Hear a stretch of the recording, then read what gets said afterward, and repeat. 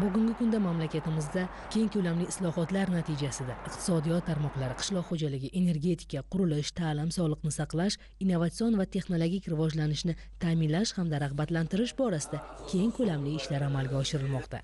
Bunda avvalo prezidentimizning ikki ming yigirma ikkinchi ikki ming yigirma oltinchi yillarda o'zbekiston respublikasining innovatsion rivojlantirish strategiyasini amalga oshirish bo'yicha tashkiliy chora tadbirlar to'g'risidagi qarori innovatsion salohiyatni yangi bosqichga olib chiqishga xizmat qilmoqda. Mazkur qarorning namangan viloyatidagi ijrosi borasida so'z yuritar ekanmiz.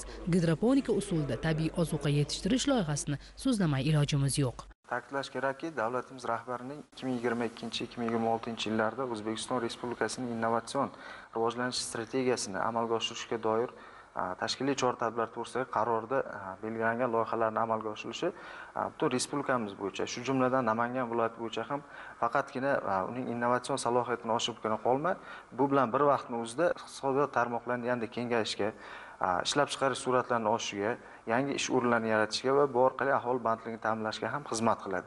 Qarorda belgilangan loyiha ya'ni gidroponika usulida tabiiy ozuqa yetishtirish orqali chorvachilik dehqon xo'jaliklarini ozuqa loyihasi bilan tanishib turibmiz. Mazkur loyiha ham bir milliard qiymatga ega bo'lib artstroy info mchj tomonidan tashkil etilgan. Loyihaga oliy ta'lim fan va innovatsiyalar vazirligi viloyat boshqarmasi va viloyat adliya boshqarmasi mutasaddilari tomonidan ham amaliy ham huquqiy ko'mak ko'rsatib kelindi. Korxona yiliga bir ming sakkiz yuz yigirma besh tonna yashil ozuqa yoki ikki butun o'ndan yetti milliard so'mlik mahsulotlar ishlab chiqaradi. Yana bir ma'lumot gidroponika usulida yetishtirilgan ozuqa maydalangan o't unidan sakkiz marta aralash ozuqadan yetti marta pichandan besh marta kunjara va shirotdan to'rt marta arzon hisoblanadi. Bu chorva mollari uchun juda kerakli ozuqa sutni ko'paytiradi. Besh litrdan yetti litrgacha yo yetti litrdan o'n litrgacha ko'paytiriladi. Keyin chorva mollarini semirtiradi. Tejamkorlik bilan yetishtiriladigan mahsulot bu. Nafaqat mollarga tovuqlarga baliqlarga ham bersa bo'ladigan mahsulot. Gidroponika usulida ozuqa yetishtirish hamda sarf xarajat ekin maydonini tejash imkonini beradi. Yana bir istiqbolli loyihalardan biri porloq paxta navi tolasidan hamda yigirish jarayonidagi chiqindilardan yigiruvbob tola ajratib olib yangi trikotaj mahsulotlari yaratish texnologiyasi hisoblanadi. Ushbu innovatsion loyiha namangan muhandislik texnologiya instituti professor o'qituvchilari va yosh ilmiy tadqiqotchilari tomonidan amalga oshirildi. Loyihadan yiliga o'n besh ming kilogramm hajmdagi trikotaj to'qimalaridan yigirma yetti ming dona sport kiyimlari uch ming dona ayollar jenfiri umumiy hisobda bir o'nda olti milliard so'm mahsulotlar ishlab chiqarish ko'zda tutilgan. Tutilgan yosh ilmiy tadqiqotchilar tomonidan ishlab chiqarishga tatbiq etilgan loyihaning o'ziga xos jihatlari bisyor. Chust innovatsion hududida amalga oshirish uchun umumiy qiymati yigirma sakkiz bitta o'ndan bir milliard so'mlik shundan vazirlik hisobidan o'n sakkiz bitta o'ndan to'rt milliard so'mlik. Yigirma beshta innovatsion loyihalar vazirlik tomonidan moliyalashtirildi.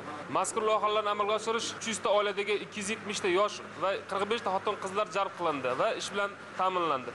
Shuningdek o'zbekiston respublikasi prezidentining ikki ming yigirma ikki ikki ming yigirma oltinchi yillarda o'zbekiston respublikasining innovatsion rivojlanish strategiyasini amalga oshirish bo'yicha tashkiliy chora tadbirlar to'g'risidagi qarori qabul qilindi. Unga ko'ra viloyatda davlat ilmiy dasturlari doirasida ajratilgan mablag'lar va mahalliy byudjet mablag'lari hisobidan yigirma bir milliard so'mlik 20 ta tijoratlashtirish va startap loyihalari amalga oshirilib uch yuz o'n uchta yangi o'rinlari yaratiladi. Ushbu loyiha chus milliy ramzlaridan yangi dizayndagi ustki trikotaj buyumlar ishlab chiqarish resurs tejamkor texnologiyalar asosida fizik mexanik xususiyatli gigiyenik ko'rsatkichlari yaxshilangan xomashyo sarfi kam bo'lgan jahon andozalariga mos trikotaj mahsulotlari ishlab chiqarish imkonini bermoqda. Hozirgi kunda chiqindilardan olingan ipdan sifatli mahsulot olish texnologiyasi bizni korxonamizda joriy etildi.